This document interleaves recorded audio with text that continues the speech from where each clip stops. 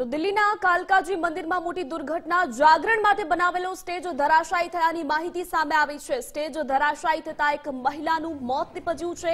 તો સાથે સત્તરથી વધુ લોકો આ દુર્ઘટનામાં ઘાયલ થયાની માહિતી પણ અહીં સામે આવી રહી છે. દુર્ઘટના બાદ ભારે દોડધામના દ્રશ્યો પણ અહીં સર્જાયેલા જોવા મળ્યા છે. સ્ટેજ ધરાશાયી થતા એક મહિલાનું આ દુર્ઘટનામાં મોત નીપજ્યું છે. તો જાગરણ માટે અહીં લોકો એકઠા થયા હતા. મોટી માત્રામાં અહીં લોકો ભેગા થયા. જે બાદ દોડધામના દ્રશ્યો પણ સર્જાયા. તો સ્ટેજ ધરાશાયી થયો, જે બાદ દોડધામ મચી જવા પામી હતી અને જેમાં એક મહિલાનું પણ મોત નિપજ્યું છે. સત્તરથી વધુ લોકો અહીં ઘાયલ થયાની પણ માહિતી સામે આવી રહી છે. તો દિલ્હીના કાલકાજી મંદિરના આ દ્રશ્યો છે અલગ અલગ દ્રશ્યો તમે જોઈ શકો છો. એક બાજુ સ્ટેજ તૈયાર કરવામાં આવે છે. મોટી સંખ્યામાં ત્યાં લોકો એકઠા થયા છે અને બીજું, બીજા જે દ્રશ્યો છે તેમાં સ્ટેજ ધરાશાયી થઈ થઈ ગયો છે અને ત્યારબાદ દોડધામ મચી જવા પામી છે, જેમાં સત્તરથી વધુ લોકો ઘાયલ થયા અને એક મહિલાનું પણ મોત નીપજ્યું છે. આ અલગ અલગ દ્રશ્યો છે. દિલ્હીના આ દ્રશ્યો છે. આ દુર્ઘટના દિલ્હીના કાલકાજી મંદિરમાં સર્જાઈ હતી, જ્યાં મોટી સંખ્યામાં લોકો જાગરણ માટે એકઠા થયા હતા, જે બાદ આ સ્ટેજ ધરાશાયી થયો અને મોટી સંખ્યામાં લોકો ઘાયલ થયા છે. જેમાં એક મહિલાનું પણ આ દુર્ઘટનામાં મોત નીપજ્યું છે. તો દિલ્હીના કાલકાજી મંદિરમાં મોટી દુર્ઘટના સર્જાઈ. જાગરણ માટે બનાવેલો સ્ટેજ ધરાશાયી થયો છે. સ્ટેજ ધરાશાયી થતાં એક મહિલાનું અહીં મોત નીપજ્યું છે. સાથે સત્તરથી વધુ વધુ લોકો અહીં ઘાયલ થયાની પણ માહિતી પ્રાપ્ત થઈ છે. જેમને હોસ્પિટલ ખાતે ખસેડવાની પણ કામગીરી કરવામાં આવી છે. અફરાતફરીનો માહોલ સ્ટેજો ધરાશાય થયા બાદ અહીં સર્જાયો હતો. જાગરણ માટે અહીં લોકો ભેગા થયા હતા. તો આ સ્ટેજ ધરાશાયી થતાં એક મહિલાનું મોત નિપજ્યું છે. તો આ સાથે વધુ વધુ જાણકારી માટે સંવાદદાતા દેવનાથ પાંડે આપણી સાથે જોડાયેલા છે. દેવનાથ, દિલ્હી કે કાલકાજી મંદિરમાં में દુર્ઘટના, એક મહિલા કી की મોત मौत हुई સત્તર લોક ઘાયલ હોને કી होने માહિતી પ્રાપ્ત હો રહી हो रही જાણકારી? सोनल, देखिए, दिल्ली के कालका जी मंदिर परिसर की हम बात करें तो जिस तरह से इस इवेंट को रखा गया था इसे जागरण भी कह सकते हैं और एक इवेंट भी कह सकते हैं क्योंकि वो मंदिर परिसर देखा जाए तो अच्छी खासी वहाँ पर जगह है, लेकिन जिस सिंगर को वहाँ पर जागरण के लिए बुलाया गया था, उन सिंगर का नाम है बी प्रॉक और उन्हें देखने के लिए इतनी ज़्यादा संख्या में वहाँ पर भीड़ इकट्ठा हो गई। और यही सबसे बड़ा अगर हम लूप होल कहें तो यही सबसे बड़ा वो पॉइंट दिखा जो इतनी बड़ी दुर्घटना देखने को हमें मिली। उसके बाद जागरण जब शुरू हुआ, उसके बाद एक तरह से कहें कि अपार भीड़ वहाँ पर पहुँच गई, जिसकी कल्पना शायद मंदिर प्रशासन ने भी नहीं की थी।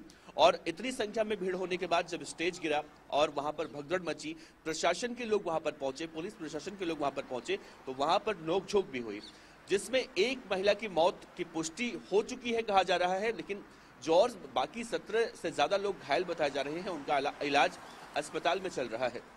लेकिन बड़ा सवाल उठता है कि अगर किसी भी बड़े सिंगर को जागरण के लिए बुलाया जाता है तो कम से कम उतनी सुरक्षा व्यवस्था जितनी होनी चाहिए, शायद इस बार कालका जी मंदिर परिसर में इतनी सुरक्षा नहीं थी कि भीड़ को कंट्रोल कैसे किया जाए। तो कहीं ना कहीं लापरवाही इसमें देखने को मिल रही है इस पूरे मामले में, जो एक महिला की जान गई है और कई लोग घायल हैं। और इस पूरे मामले में अब देखा जाए तो लोगों को अस्पताल में एडमिट करा दिया गया है और इलाज उनका चल रहा है। लेकिन हालात तो शांत हो गए हैं, काबू हो चुके हैं, लेकिन सवाल वही उठ रहे हैं कि जब व्यवस्थाएँ उतनी नहीं है, उतनी कैपेसिटी नहीं है, उतनी पब्लिक की तो आखिर इस तरह से इतने बड़े सिंगर को यहाँ पर जागरण के लिए इन्वाइट क्यों किया गया था?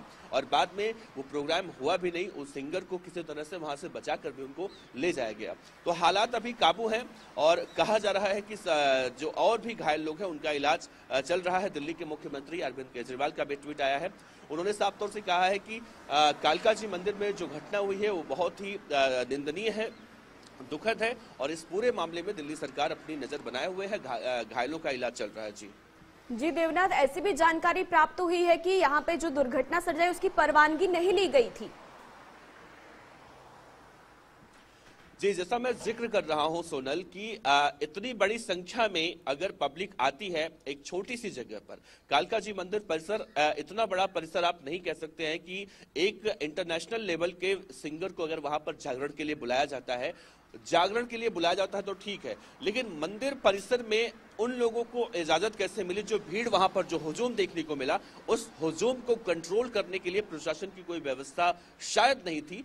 जो भीड़ ज़रूरत से ज़्यादा हो गई और जिसको भी जानकारी मिली, वो लोग वहाँ पर देखने के लिए पहुँचे। और यही सबसे बड़ी वजह भी कही जा रही है कि जब प्रशासन के पास वो व्यवस्था नहीं थी कि भीड़ को काबू में कैसे किया जाए, सबको विस्तार से कैसे वहाँ पर कंट्रोल किया जाए तो ये घटना तो होनी ही थी और ऐसी घटनाएँ एक बार फिर से साबित करती हैं कि जब कहीं ना कहीं व्यवस्थाएँ उस हिसाब से नहीं होती हैं, जिस हिसाब से होनी चाहिए, जितने, जैसा मैं बार बार ज़िक्र कर रहा हूँ, भी प्रॉक का जब नाम आता है तो उनका नाम कहीं ना कहीं बड़े सिंगरों में दर्ज होता है और जब उनको इन्वाइट किया जाता है, उनको बुलाया जाता ज़ाहिर सी बात है कि भीड़ बहुत ज़्यादा संख्या में उनको देखने आएगी और जागरण तो मात्र एक बहाना कह सकते हैं, सबसे ज़्यादा लोग उन्हें देखने के लिए आए थे और बाद में जब ये घटना हुई, इस घटना के बाद उन्हें सुरक्षित वहाँ से निकाला गया। अफरा तफरी मची, प्रशासन की मंदिर प्रशासन से भीड़ से बहस भी हुई और इस बहस के बाद अब मामला जो है शांत हो चुका है। लेकिन सवाल वही उठ रहे हैं कि आखिर जब इस जागरण को